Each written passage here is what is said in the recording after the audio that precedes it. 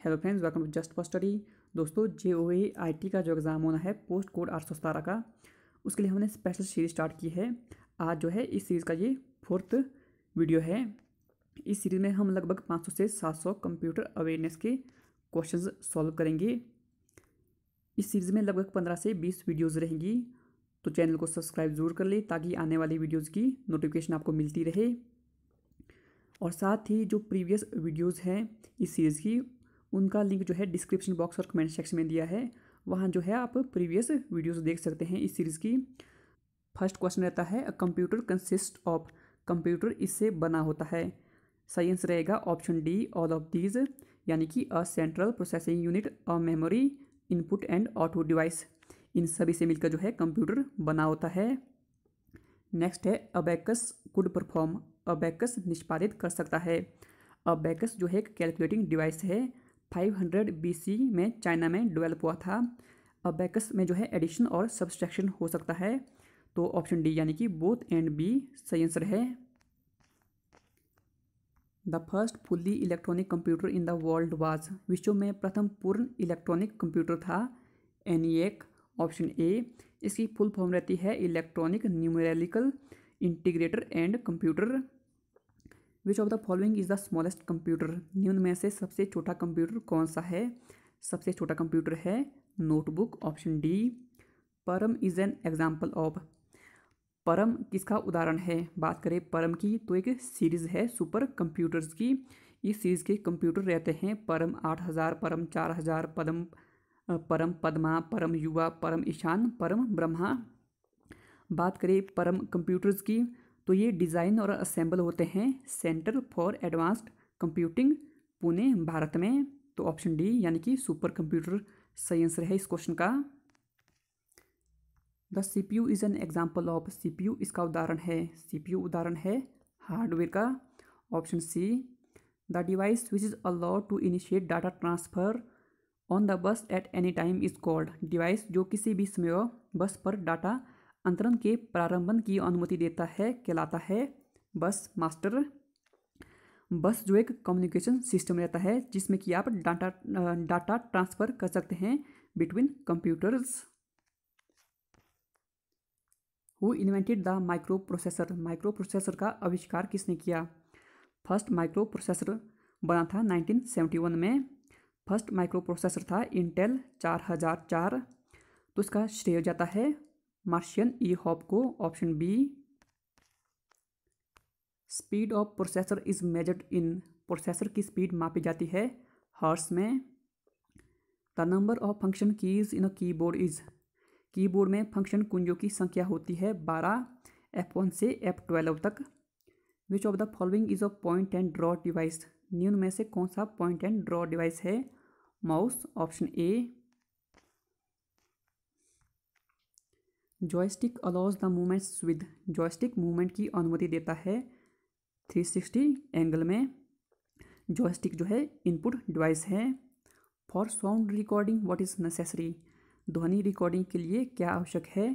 Microphone option A C R T is a next है C R T is a C R T है एक vacuum tube की C R T की full form रहती है cathode ray tube cathode ray tube technology use की जाती थी कंप्यूटर, मॉनिटर और टेलीविज़न बनाने में। अ प्लॉटर इज़ प्लॉटर है एक output device, option B. Which of the following is the fastest port for data transfer निम्न में से कौन सा डाटा ट्रांसफ़र का तीव्रतम पोर्ट है? Firewire port option D जो है फास्टेस्ट पोर्ट रहता है डाटा ट्रांसफ़र करने के लिए।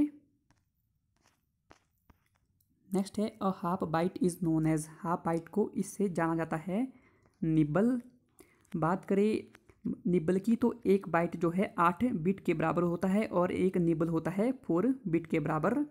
RAM is also called RAM को यह भी कहते हैं। रैम की फुल फॉर्म रहती है रैंडम एक्सेस मेमोरी रैम को कहते हैं वोलेटाइल मेमोरी और जो रीड ऑनली मेमोरी यानी कि रोम, उसको कहते हैं non volatile memory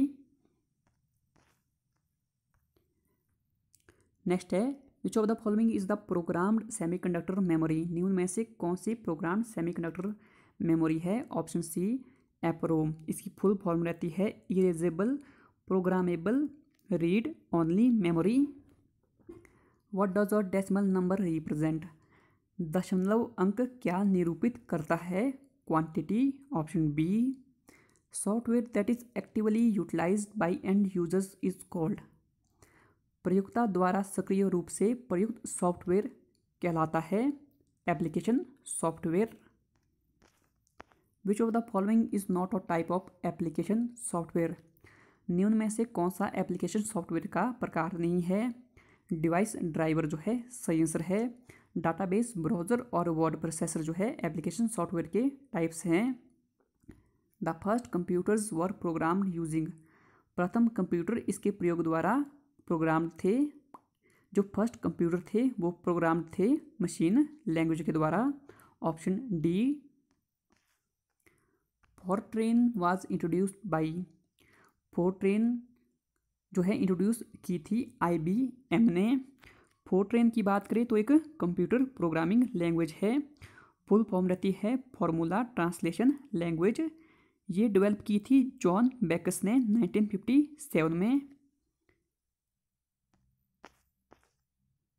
The operating system manage, operating system संचालित करता है ऑल ऑफ़ डीज यानी कि प्रोसेसर, मेमोरी और फाइल्स को।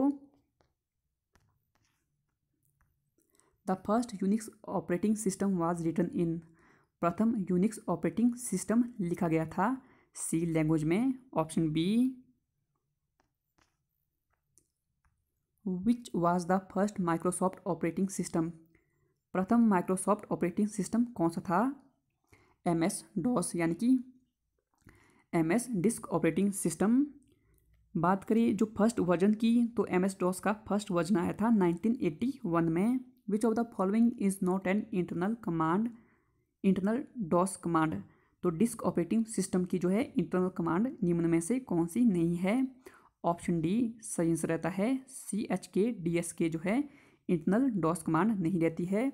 डेल प्रॉम्प्ट और सी एल एस जो है डॉस कमांड्स है। Windows operating system was developed by Windows operating system किसके द्वारा विकसित किया गया था? माइक्रोसॉफ्ट के द्वारा। Option B, which menu is select to print in M S Windows? M S Windows में प्रिंट करने के लिए कौन सा मेन्यू सेलेक्ट करते हैं? File menu, option A.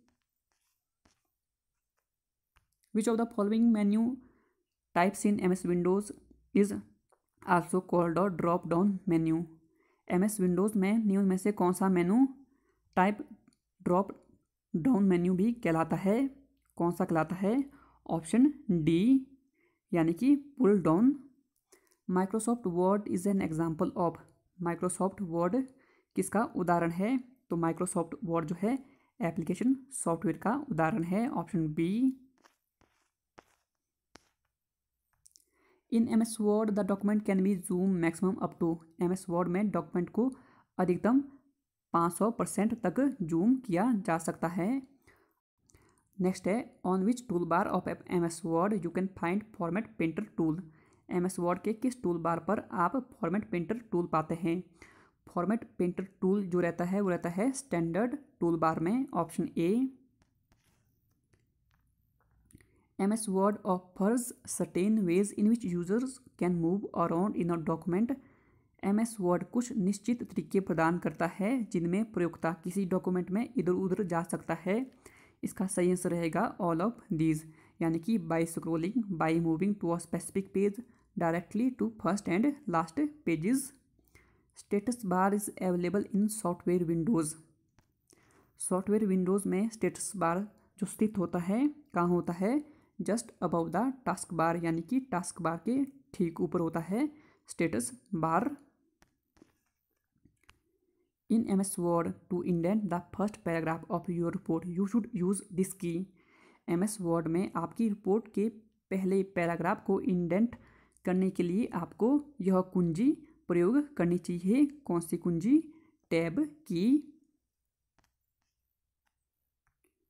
What is the maximum font size you can apply for any character in M S Word M S Word में किसी करेक्टर के लिए आप जो है क्या अधिकतम फॉन्ट साइज़ काम में ले सकते हैं? एम एस वर्ड में जो आपको ऑप्शन मिलता है, वो मैक्सिमम मिलता है सेवेंटी टू का, लेकिन आप उसको मैनुअली जो है वन सिक्स थ्री एट कर सकते हैं फॉन्ट साइज़ को तो ऑप्शन बी सही आंसर रहता है।